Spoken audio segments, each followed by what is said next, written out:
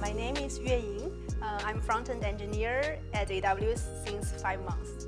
Uh, me and my team is working on building design system for uh, AWS consoles and also external consumers.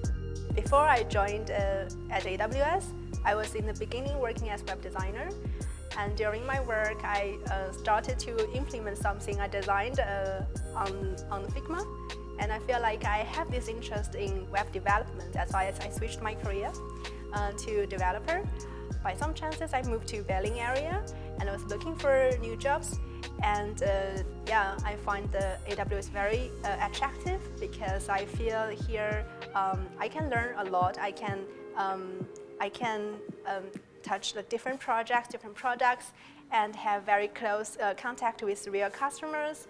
I think those will like help me grow up.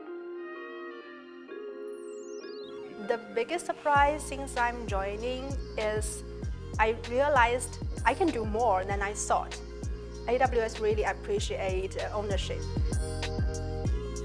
The most exciting part of my job is there are a lot of experienced senior engineers in the team and they are very willing to help me, support me and give me positive feedbacks.